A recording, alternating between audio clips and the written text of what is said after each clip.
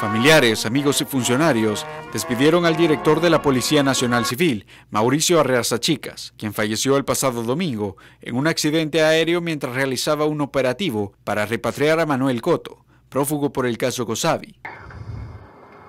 Amigos, señor presidente Nayib Armando Bukele, mi hermano le cumplió. Pueblo salvadoreño, ese héroe le cumplió. Dios quiera que no haya sido martirizado. Primero Dios. Gracias pueblo salvadoreño por el tributo y la confianza que le dieron a ese hombre que está en esa caja.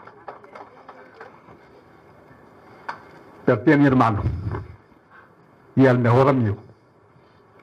Muchas gracias. Los restos del director de la Policía Nacional Civil fueron trasladados desde la ex casa presidencial en San Jacinto, donde desde el martes por la noche se le rindió homenaje, hasta el cementerio Jardines del Recuerdo. Funcionarios como el fiscal general Rodolfo Delgado y el ministro de Defensa René Merino Monroy, el director de centros penales Osiris Luna y el ministro de Justicia y Seguridad Gustavo Villatoro estuvieron presentes en el acto fúnebre. Dio su vida con una pasión por su trabajo en algunos momentos él se sentía mal porque ponía en primer lugar su trabajo antes que su familia, a lo cual no siempre nos pedía disculpas y nos decían, perdónenme, pero es lo que amo, lo hago de corazón, es un compromiso que adquirí y por la formación militar que él tenía, honró cada momento, cada orden de su superior.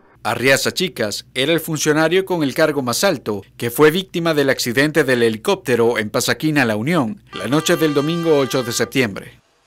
Fue nombrado director de la PNC desde el año 2019, cuando el gobierno actual tomó posesión por primera vez. Tenía una trayectoria de más de 30 años, tras iniciar su carrera con los Carabineros de Chile. Según su currículum, público en la página web de la Corporación Policial, Chicas fue uno de los miembros fundadores de la policía. Informó para la prensa gráfica Vladimir Fermán.